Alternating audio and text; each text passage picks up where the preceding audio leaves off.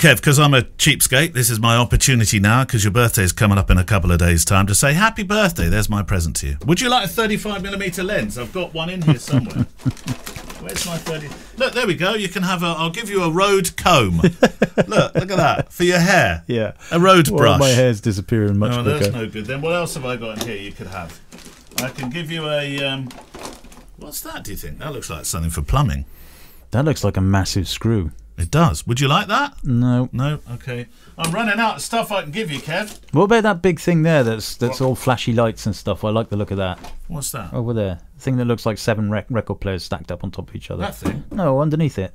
Oh no, but that's all the computer equipment for the studio. You can't have that. Huh. We won't. It won't work. It won't work without that. Why can't you just? Uh, I really have run out of ideas. You can have a microphone. Look at that. That is an RE20. That is that is the standard microphone of the American broadcast industry ever since Vietnam, probably maybe before. I won't get that back in my hand luggage. You can use this for all sorts of things. Banging in nails, Hitting people over the head with it. people over the head. I really have run out of ideas. What are you hoping to do for your birthday? Well, I mean, the family will be. We're recording this prior to your birthday. the family will be there by now. Yeah, Rosa and Gemma Yeah, will have turned up. putting up the flags. Uh, they're turning up tomorrow. Yeah, I Ho- think- How are you? How are you? How are you what, what are you? What are your plans? What are you going to do? Oh, we're gonna. I'm gonna just gonna spend the time at the house for the day, Yeah. and then Gemma and I are going away for the weekend. Oh, are you? Where are a you holiday and a holiday. Holiday and a holiday. Yeah. Where are you going? Do you know? Is it a surprise? No, a little place called La Islita. Oh, that's nice. Yeah, Isn't that a very Madonna song? Uh, yeah, it could have been, couldn't it? Um, Oh, that's nice. A couple of days just to yourself. yeah, Yeah. yeah, it'd be Fantastic. lovely. Yeah, kids will stay with granddad. Yeah. Perfect. Perfect. Happy 50th. The Fuji Cast. Happy 50th. Um, so, uh, well, there we go. Uh, that's my birthday present to Kev sorted. I dare say, in a couple of days' time, though, the Facebook group here will be full to the rafters with uh, with birthday wishes for you. Um, and um, well, welcome to the show. I was trying to work out what it is in Spanish say happy birthday, but uh, not bon anniversaire. That's that's um, that's French. Uh, it is What- Feliz. Uh, Feliz Navidad is Christmas. No, Feliz com, Compianos. Is it? Feliz Compianos, I think, is happy birthday. Welcome to the FujiCast. You and your questions sent to click at fujicast.co.uk or through the Facebook group. Now, even though we've been pre recording three in a row, and you might notice that Kev is here in the studio uh, instead of down the line as uh, as as, the, as as it usually is. We still need your questions because upon Kev's return, I don't think he'll even want to return. He'll I probably may, enjoy- may, I may not. yeah, yeah. I may decide not to. That's it. To stay in Spain. Yeah, that's it. Upon your, if you make your return, Like then a great train robber. the Ronnie Biggs of of whatever that town is that you stay in, then uh, we do need still need your questions. So send them, please. Uh, continue to the FujiCast group or click at fujicast.co.uk. We have to thank pic-time. Dot com um, for their wonderful support of this program. Do you think they might give you free membership for a year for your 50th? Ooh. Yeah, I don't know. Now we're talking. Yeah, be, uh, no, it'll be too late. Will it? Yeah, because my my membership lapses at the beginning of August, which is Oh. gone now in real Right. world, but in our world it hasn't. No. Okay. It's very confusing, isn't it? Well, maybe we should write to them now for Yeah, the past. Maybe, maybe. Let's ring them up now, live on the show. birthday's coming up. um, they they are wonderful to support this show. Thank you for your support for the for this show. We we do appreciate it. But we it's a product that we both use, both enjoy using it. Um, that that's the website, the, the web utility that we use to show our work after we've shot our weddings. Uh, it goes up in galleries that I think look just absolutely superb. I've used so, uh, I've used I'm almost at the trade name. I, I've used similar kinds of companies in the past, but it just looked blocky and it wasn't nice. And it just thi- this looks arti- I mean, it looks like a website that you would make for your business, doesn't it? When you show a gallery. On. Yeah, there? yeah, it's beautifully done. Beautifully done. Um, and you can also do the blogging and everything there and embed blogs that that follow the same format. So, Oh, have you yeah. started doing that? Because that was something you were going to. Uh, you were looking at me like, no, don't ask me Uh, no, I was thinking the moment I said that, I thought he's going to ask me, but I, I've done it once. Have you? Yes, Yeah. but only because really I'm I'm only just well just before I went away it was just started blogging weddings from this year, so that kind of makes sense. So um, yeah, it's very easy to do. Pinged it over, uh, embedded blog. So I'm doing private blog for the clients rather than a public blog.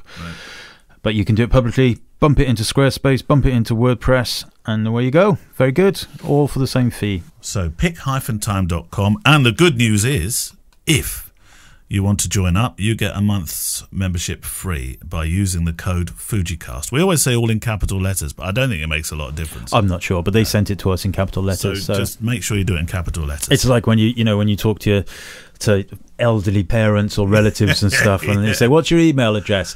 Capital K, Yeah. small e, Yeah. v i n Yeah. dot Yeah. capital M. But like, don't not the not not actually dot No, dot, dot. the- yeah. Uh, I'm like, there's no capitals in an email address, mum. None.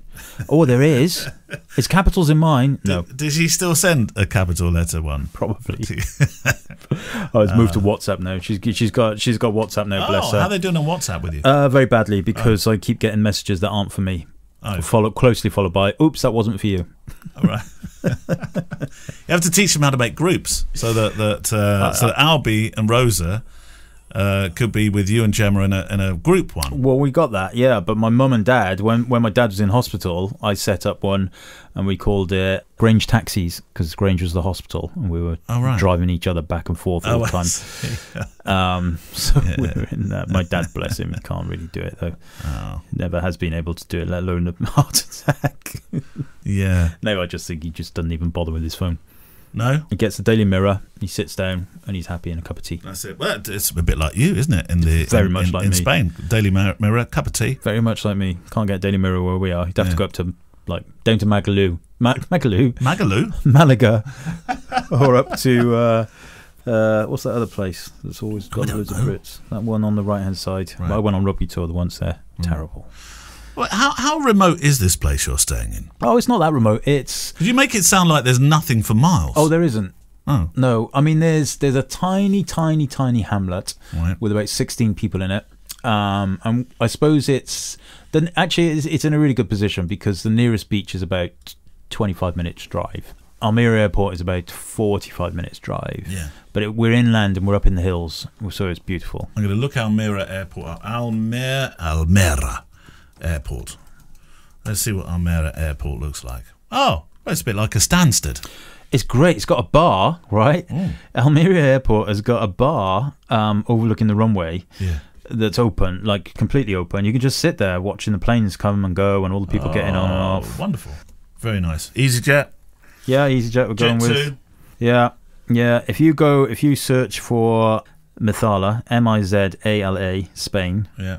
Uh, M-I-Z, M-I-Z, A L A, A-L-A, Spain. Yeah. you'll see a picture. Oh, is that your place? No, that's the hamlet. Oh, well, that's the. Hamlet. was thinking, So- my God, you're the Lord of the Manor. We're up in the hills. Are you? Can you even see your place on here? It's not my place, by the way. It's Gemma's dad's place. Oh, I know, but I was thinking of it as Kev's place. Oh, Uh, no, there you are. there You're I there. am, yeah. I can see you in your underwear.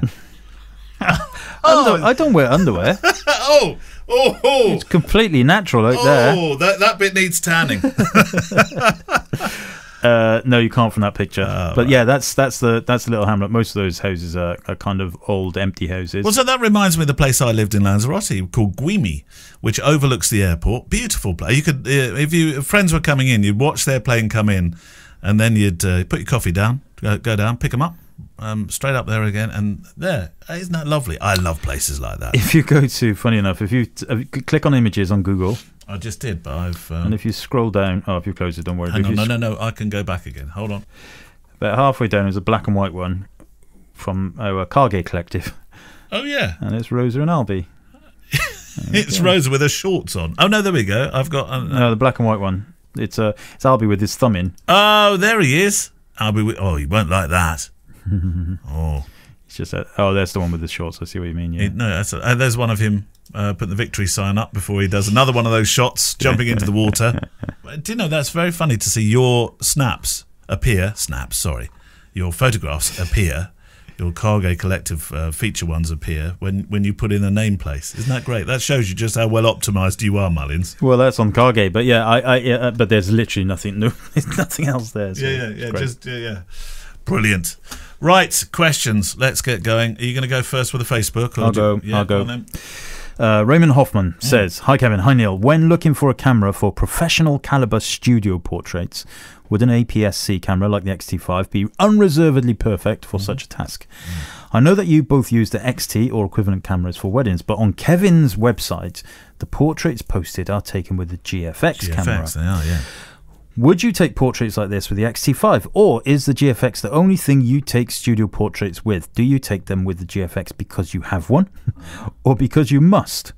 Do you find the noise or image quality on the GFX vastly superior? Thanks so much. Love the show. Raymond Hoffman.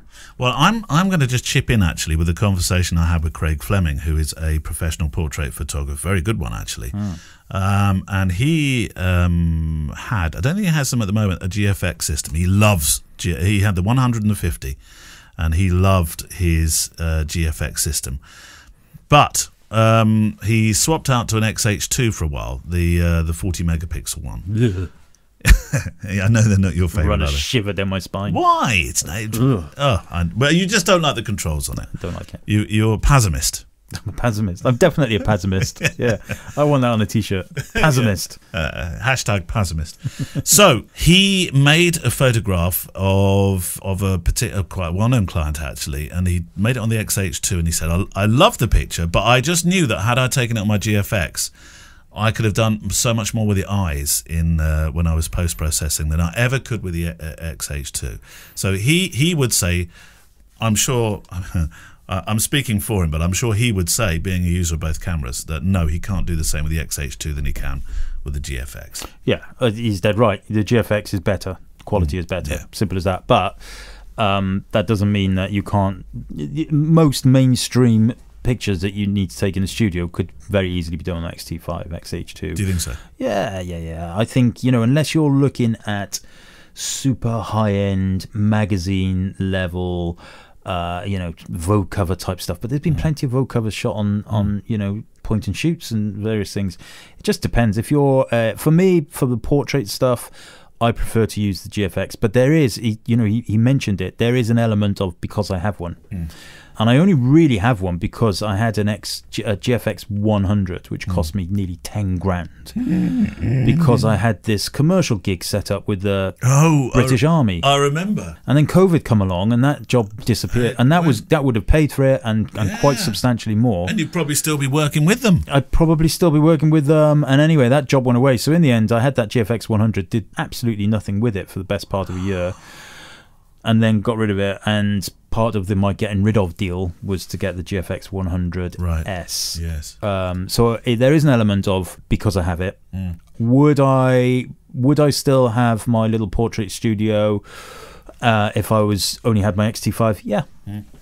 And I wouldn't really have any problems with it. But Craig's right in that if you really want to do the very, very, very fine tuning that most people will never see it with their naked eye, Yeah. Things like layer separations and all of that kind of stuff for you know the, certainly the eyes highlights irises all that kind of Yeah. stuff. Frequency separation i mean. Then yeah you you're going to get more out of it in with a G- with a you know it doesn't have to be a gfx it could be Yeah. any medium format thing.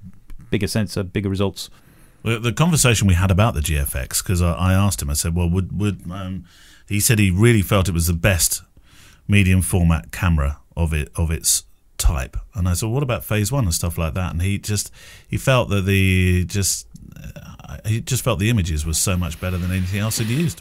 i think it probably praise indeed. i think it probably is i i don't know I just, you know, I've never used Phase, so I, I, I can't say. that Well, phase I, One is a beast. I know. Well, that's the thing that would put me off. Like, um, especially having to use a, a one with a back and the cost of it and the lens costs are phenomenal. You're talking, you know, you're talking half a house. No, actually, you're talking door doorstop at the moment. But yeah, I think I think what Fujifilm did with the GFX system was Yeah. nothing short of genius. Yeah. Um, so yeah, you will get better results out of it, Raymond. But the X-T5 will still give you Yeah. pretty much as good results, and perhaps There must be a lot, a lot of photographers. I, I would have. I, I, I know we've we've interviewed them in the past um, uh, of commercial photographers that use them very, very happily indeed, without without a problem at all. Mm-hmm. Um, so, Errol Banks says, Hi Kev, hi Neale, I'm loving the Fujicast and I have a question about storage. Now, we did do storage a couple of episodes back, but we're, um, we're, we're always aware that you don't necessarily listen to every single podcast. Perish the thought. So uh, we'll, we'll answer this one. I have six terabytes of cloud storage and need to figure out how to migrate that from Google Workspace to another cloud company. This, this is why I say it's similar to the one we had before. I know Kev uses Sync, but is this viable for long term use in the future? Or is external drives the way to go? We talked about external drives, didn't we? Yeah, and we also talked about sync.com. Hmm. Um, well, I mean, I would, first of all, you have to ask the question why does he need to move it from Google Drive? Is it because he's run out of space? Is it money? Uh, it could be because he's run out of space. Sync.com has an unlimited. Um, Well, so does Google. Uh, maybe Google Workspace doesn't. Google Google doesn't. I know that for a Uh, fact. well, I have uh, I have unlimited, but then I have a, a Google Business account. Is it unlimited storage? It, well, yeah, I think it is. Well, anyway, maybe it is. But anyway, so first of all, we need to identify. So if you're just moving from Google to something like sync.com or Dropbox, then you're just moving from one to another, right? Yeah. And that's fine. Um, if the question is based around longevity, sync.com is a big business also. It's not it's not going to disappear. Um, and you've got to put your trust in that, Yeah. same as you've got to put your trust in Dropbox, all Yeah. of those kind of things. But if you're talking about archival stuff, then yeah, it makes sense to to you know get yourself a six terabyte hard drive, Yeah. dirt cheap these days. Pop your stuff on there, stick it in a cupboard, maybe get two of them, stick one in your mum's cupboard, you know, whatever. Um, but yeah, I, I like I, I tend not to worry too much about that kind of stuff as long as I have it in in the cloud and locally. Then I'm I'm good to go for especially my personal photos. They are you know they're they're in multiple places, but all digitally. Yeah. Is that your tummy or mine? My tummy. I'm just looking at uh, G Suites. That's what I use. Each user in your organization can store unlimited Gmail messages, Google Photos, and files in Drive. And Ah, file yeah. Google Photos. Google right, Photos but, is different, but also yeah. files in Drive. So um, I have a file agreement um, which covers my photography. Maybe I don't put enough in there for it to ever upset them. don't know. I don't know. Yeah, um, I don't. I really don't know.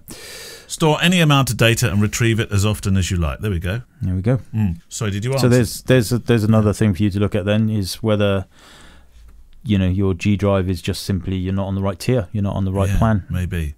Yeah, I know I spend quite a lot of money, but I've always thought, what price really? Into that that is my business backup. Hmm. And if Google went wrong, we're all in trouble. Yeah, that's right. We are. right, next question off Facebook. John Wayne, I have a growing library of photography books, i.e., books of photos by a photographer. in case we, in case we were not aware of what it meant. What is the best way to enjoy them? Um, and then he says, place? Question mark. Sitting, standing? Question mark. Light? Question mark. Time of the day? Question mark. With friends? With music? Etc. Etc. Etc. Hmm. I'm going to give him an hmm emoji. hmm. Yeah, I mean, just whenever you want, isn't it? I mean, yes, of course. If it's if you really want to absorb something, you want decent light. Um, but yeah, I mean, I pull my books off the shelves pretty randomly. Yeah, Sometimes it's for reference. yeah, Sometimes I'm like, oh, I remember that that photo. You know, when I want to have a look at it. But mostly it's just like when I'm twiddling my thumbs for a bit and I, Yeah. you know, drag one off the shelf. That's pretty much it. I don't. I- completely random with a coffee for me. yeah, I don't. I don't. I don't really. I mean, perhaps perhaps he's onto something though. Perhaps setting a little bit of time aside, putting a bit of nice music on. You know, Yeah. a bit of Megadeth, something like that. Sisters of Mercy, Get comfortable. get comfortable. Put your robe on. Yeah, uh, might be the way forward. I don't know. I've never, I've never really thought about that. Like having a dedicated. I suppose. Uh, yeah. no, That's what this but- chair in this studio is supposed to be, Kev. oh, your reading chair. That's chair my reading chair. Hmm. See, with your bag on it. see, there's no reading going on. Clearly, it's it's a bag storage area. Yeah, just as you want, John. Yeah, that's it. Don't don't. Uh, I wouldn't give yourself any kind of No, rules. No. But if you do find a, a nice Friday evening with a glass of bourbon and uh, and a little bit of classical music and and helps you along, Ooh, I like for a, it. I like a bourbon, bourbon biscuit. You mean bourbon, how do you say that word? Um, bourbon, bourbon. There were loads of cues here. Uh, th- this is the email you were telling me about, wasn't it, from James Sauls that had lots of questions? Is, is that the one? Yeah. Good evening, gents. Well, do you want to do all these questions or do a few and save some for next time? How many have we done so far? None. today? None. No, Of his. not of his, Generally. Oh, Jen, I, know, I don't know. I don't keep How count. long have we got left? Oh, we've got, we've got another 20 minutes. Let's just start. Okay, let's see where we go. Because I think they're good questions. Okay, go. All right. Hope you both have a great holiday when you finally get away. Well, Kev is. He's away. See, Hey, Thee.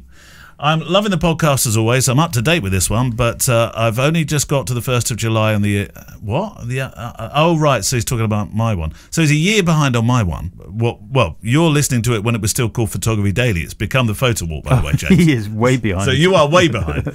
you wanted some questions uh, for your pre-recording, so here's a bunch of random, unconnected questions and QQs that I've been meaning to ask for the last month or so. He saved them all up, Kev. Basically. Right. Okay. So here's the thing. Start from the last one. Oh, really? Yeah. Work our way up because usually people write their favourite questions first.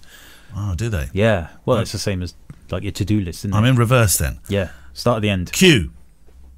Um, do you have any post-wedding rituals? When I get home after a wedding, so he's a wedding photographer. Yeah, I know. I always end up me, he's a nice sitting on the front room floor, stretching out my legs with a giant glass of red wine.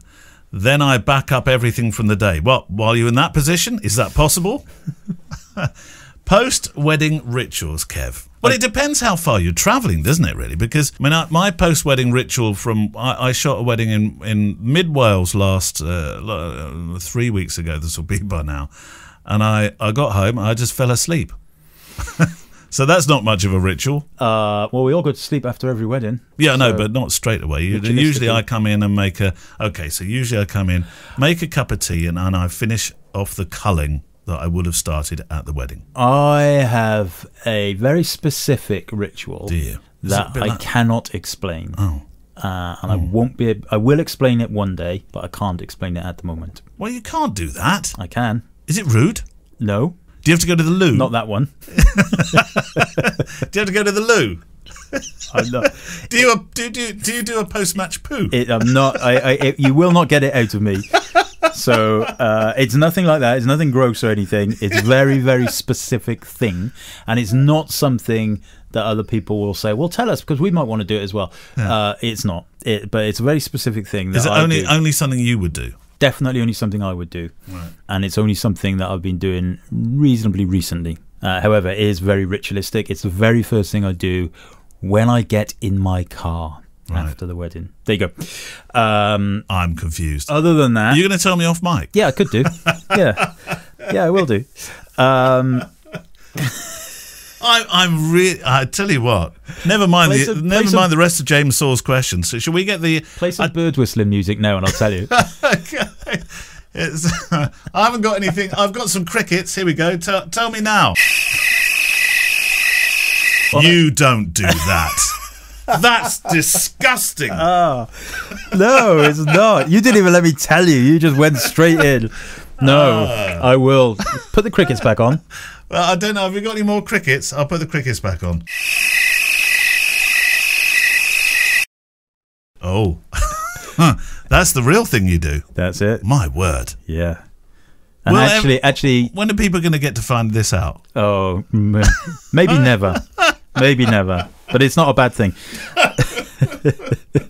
Who says I should get the thumb screws out on Kev? Oh dear, I feel like I'm in on a great secret. But then what happens is I usually ring Gemma, and I usually we have a nice little chat, Oh. and then I say to her, "Have you got me any beer?" Right. What does she say? She normally says yes, although for my last wedding she didn't, which Oh. I was quite disappointed about. Um, but generally she has. Uh, go home, I um, I stick my memory cards, which are in my bag, in my little memory card holder. Yeah. One of them, one memory card stays in the camera, one is in this little bag. That goes on the highest shelf in my kitchen. It sits there until the oh, is next day. that- yeah, okay. Um, then I go into the living room. I crack open a beer. And that's I stick my new glasses on so I can see the telly. And I watch something for you a got your new glasses with you. They're in the car. Oh, Um, yeah. and that, I that- tell you what, the world's different, isn't it, with glasses? it is. Yeah, My word. yeah. Woof. Uh, are you still phoning Gemma all the time and, and reading off registration Yeah. plates? Oh my god! She's sick of it now. I bet she is. right. Yeah. Oh, dear. I bet she's looking forward to those two weeks that she's not with you while you go to Spain. Although I know we're recording this in the future now, so so she'll have joined you by now. You'll be saying, "Look at that! Look at that cicada down there! I can see it. I always used to think that was just a blob on the floor. It's not. It's an insect." I only watched 35 hours of that really boring sport tennis in the last week or so, so I could just look at the scoreboard in the top left hand corner. Ah, do you do you not like tennis like you don't like cricket? No, no, actually, I do. I quite like tennis, but I, I actually, I didn't watch much of it at all, to be honest with you. But I listened to the. I was driving to a job. I listened to the final on the radio, which I find tennis on the radio is much more exciting. Ah. Do you? Yeah, I do. I don't know why, but I think I quite like football on the telly, or on the radio. Rather, yeah, I think that reason. because the commentators have to really, well, they've got to paint the picture, haven't they? they've really got to do it. Yeah. yeah, they've really got to do it. Um, and it's difficult when you've got a 110 mile an hour ball flying backwards and forwards. Absolutely, yeah, and it's going and going. Unlike cricket, listen to cricket on the radio, and I just drive Well, into the back of the car in front of me. Would you like to go to Lords with me, and you can what you can what No. with with your glasses, you'll be able to see the ball being bowled, No. and you can see whether it's a googly or a No. spinner or a no, No? mostly because I don't think I would very much like the people in the crowd. Do not? No, I- I, find I- the yeah. sport excruciatingly boring. Do you? Did you see that? Did you see those guys going cheat, cheat, cheat, cheat, cheat? He's No, like the. I didn't know. uh, they don't do that at cricket. Do They they? did it in the long room. So What? when Australia did their Oh thing, yeah, that bit. Yes. and he yeah. was he turned out to be like the CEO of some massive company, and he was there, you know, with his glass of champagne in his hand, going cheat, cheat, like a little baby. He should have been a politician. anyway, I can't, I cannot be in the same vicinity of people like that. I will not be, I will not be held accountable for my actions. Oh, Kev. Uh, the only reason I would not go to cricket now is that Jacob Rees-Mogg goes, and anywhere he goes, I want to be a thousand miles from. Quite. And then I want to add on another couple of thousand miles. Quite. And then be under the sea. Yes. Yeah. But no, I, yeah, tennis is good. I, I, I do enjoy tennis, but I, I, I uh, yeah, I was rubbish at tennis when I was a kid. Well, that was a that question went in all sorts of different directions. What was it there. about? What was, what was the Well, question? the, it was um, what's your um, What rituals? Hmm. What's your post-match ritual? There we go. We we went in all kinds of directions. Right, next cue. Um, so am I still going from the end of yeah, the yeah, yeah. What is your backup process after each wedding? Oh, that's dull compared to the last one. Yeah. And we have done backup already, sort of here. Okay, well, I'll say mine briefly. I go home. I don't really do much that night. Well, no, because you're drinking beer. Drinking beer. my, my memory cards are up on the top shelf. Yep. And then when I do finally get to the studio, it's backed out. All of the raw files go onto my internal drive. Yep. They then get sucked up to sync.com, and then I, they also go onto a raided 36 terabyte drive that I've got connected to my machine. Not. Drobo by any chance. No, not Drobo. And then the actual memory cards themselves go in a little chocolate cake dish, and they get locked in a cupboard until you know those goos. You don't end up eating the chocolate cake and you've accidentally got some SD cards in there. That's my It's a bit chewy. What's my reason for uh, is my reason for buying those those uh, Marks and Spencer's goos, oh, is it? You little glass dishes. Yeah, they go in the cupboard and, Uh. and locked in there until until I've edited the wedding. Those memory cards don't get used again. So I cull during the wedding. I know a lot of people are surprised by this, but there is a two-hour um, period usually during a wedding, the meal, and I do pop backwards and forwards and get pictures in the kitchens. Although less and less kitchens let me in now. I think that's a post-COVID thing. Perhaps. They're not very happy with you going to the kitchens like they used to be. So take that one on the chin. So I do I do pop around and make a few photos while while you know in between courses. But the rest of the time, I park my little backside, well, my not so little backside these days, on a seat, and I cull um, using Photo Mechanic. And I normally have half to three quarters of the wedding culled by the time I leave that place, which which makes the process much quicker when I get home. I fin- I can't, with the exception of that one where I fell where I fell asleep. With the exception of that, I I have to cull before I can go to sleep. The wedding is culled and backing up to my Google Drive while I am asleep. Yeah, that's quite incredible. I could never do that. I could not colour a wedding, and I could not do it the night when I got home. Well, there's a security issue um, in my mind. Thinking, right, I need I need to know that it's somewhere safe. yeah. that if Mullins broke in tonight looking for his 35 millimeter and he accidentally took my wedding, I don't know why he'd do it. But if he did, he wouldn't be able to because it's it's uploading overnight next to me while I sleep. Yep. Good practice, definitely. I only once had a bit of a problem, which Kev um, will tell you about, when I thought I'd lost a wedding. Do you remember the wedding I thought I'd lost? Put on my red cape. Came to your rescue. Uh, yeah, I, I'd actually put the wrong surname in. Yeah. The wedding wasn't lost. As I was like, I just sort it by date. yeah. Oh, there they are. No. I wanted to marry you that day. Oh, imagine what our kids would look like. Shall I go for the next question? How often do you capture a wedding photograph that you love? Now, I know these are about weddings, and sometimes people will say, oh, it's a bit wedding centric, but you can probably insert your genre here on, on most Yeah. of these questions, including how you back work up and so on and so forth. How often do you capture a wedding photo that you love? Not one you simply like, but one that you really love. For me, not very often at all, maybe one or two a year, says James. These photos always seem to be a bride's dad, mum, nan, etc., crying with happiness when they see their daughter. See, the old, the old hugathon and crying pictures, yeah, they never let you down. Maybe it's because I have a daughter that I like those moments so much, but who knows? That's a very good point, actually, because I, you know, when people say a lot of you goes into the photography that you make, James has just um, proved that point beyond um, whatever the word is I'm trying to think of. Doubt. Thank you. Well, for me, I feel like at most weddings, I come away with what. So I, I, I categorize some images as portfolio pieces, blog pieces, and full sets. But you don't shoot for the for the No, I don't for shoot Instagram, for do them at all. Well, people do, don't they? Some people do Yeah. if they're idiots, but yeah, I don't. oh, careful. Um, but yeah, well, they should be shooting for their clients. Yeah.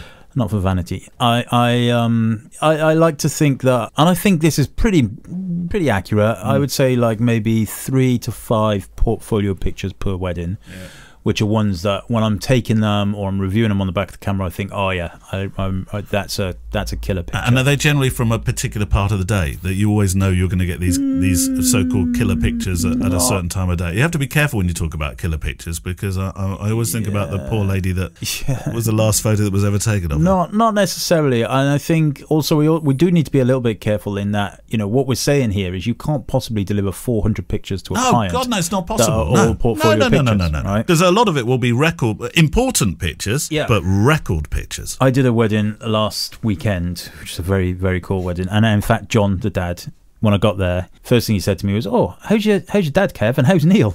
Oh, that's because they normally don't say that. They normally say, "How's Kev?" That's the only thing they say when I go to a wedding. He listens to How's Kev?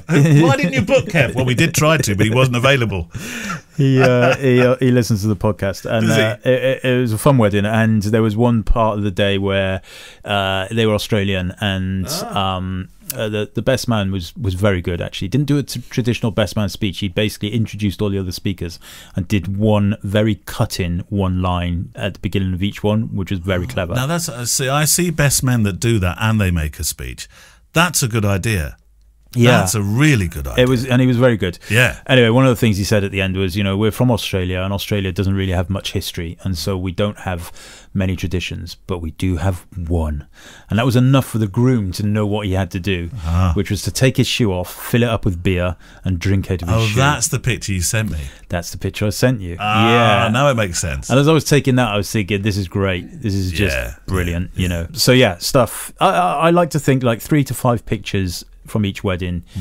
is portfolio worthy, um, and the rest would hopefully be blog worthy. But it does depend on how you how brutal you are to yourself, how subjective it is, Yeah. it what type of you know if you're if you're shooting the right wedding. I mean, I'm very lucky, and I think probably you are too, in that we tend typically tend to be shooting weddings that the clients are on board with the, the way we want to work. Yeah. Um, so all of that is is elements of it. But yeah, I wonder if James is talking about weddings here where i i there's not so much action going on, where you go to tell a story, but because you do you do get occasions which are tea drinking moments Mm-hmm. where you're thinking, right, how can I make this?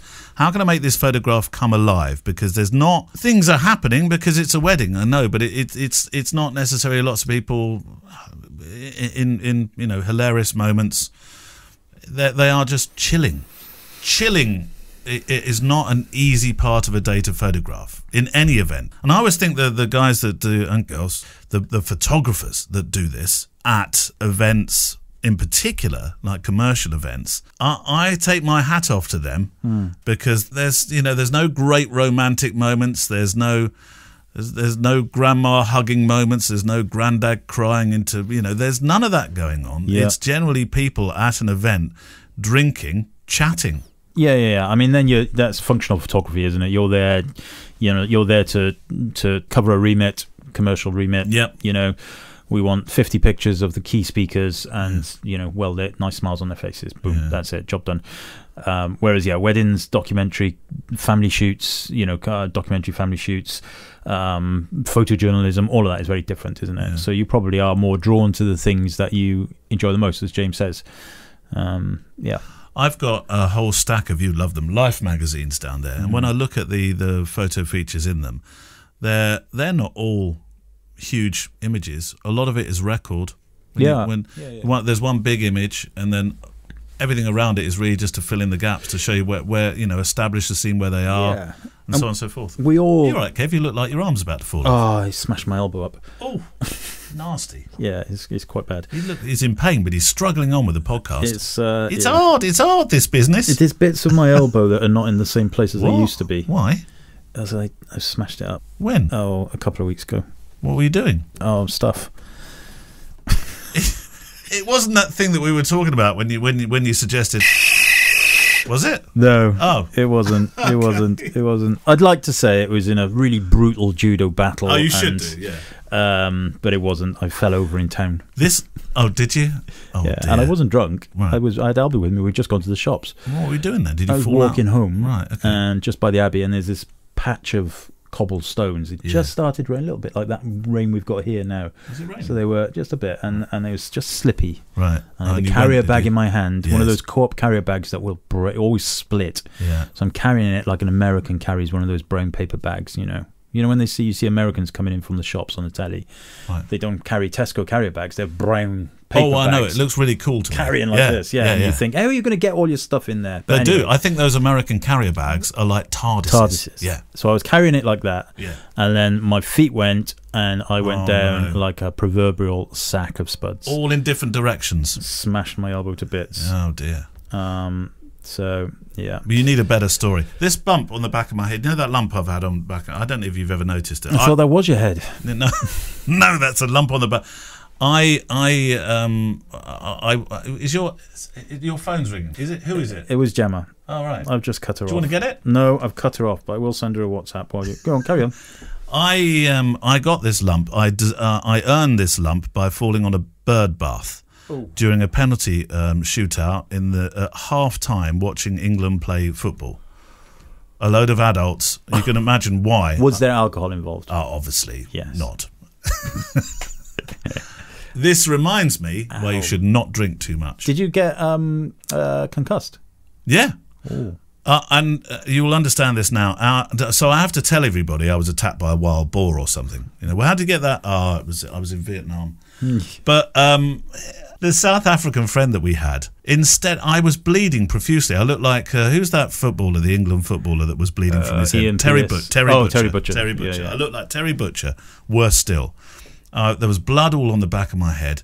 And our friend Graham, a South African guy, sat me down and he he he, he put uh, five fingers up in the air. I think I counted three, Mm. and he said, "You're all right," and gave me another drink.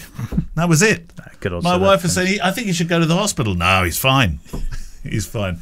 Uh, anyway, should we one more one more cue, and then uh, I think that's it for the day. Um, so over the last few months, I've started to embrace one of the Mastin Labs presets that I've been slowly tweaking. Kev, I love your color photos. There seems to have been a change over the last year. Uh, and it's great. I think you said before you use one of your own presets from your preset pack. Which color preset do you? This is a chance for you to sell some presets now, Kev. What color preset do you use uh, most often, and why? Press theme tune. Kev can answer. well, I use so actually my presets are profile based. Right. So although I've built some presets in there as well, I typically start with one of the profiles. Okay, which is one of the the color profiles, and that's what I would suggest people do, and then they can build it on themselves. So, if you go into the little profile area of Lightroom, you will see in the drop down the Mullins profiles. You'll see the color ones, the black and white ones. Um, pick one of the, the more neutral ones if you want to start from scratch, and then build your clarity and your contrast and all that on top. Or if you click on one of the presets, as in like I've got one called Summer Clean, then that will base it on a profile, but it will also add some settings. But from the base start, go with the profile. Did you keep up with that, James? Yes, I did. Oh, there we go. Well done, James. Sorted. And that's it for another week. Now we have one more pre-recorded one to do before Kev flies back. And this is gonna this is not gonna sound good to you, Kev, No, because we're talking about the end of your holiday. I know. The end. And you haven't even started in the recording time, you haven't even started I know, it. and I might not come back. Yeah. Well, happy birthday for a couple of days' time. Thank you. Oh, I hope they brought a cake across. Oh, there's always cake. There's always cake. Have a good one. Send your questions in. Click at fujicast.co.uk or through the Facebook group. We will see you in a couple of weeks' time. Kev's still in Spain, so at this point we have to say adios. Adios.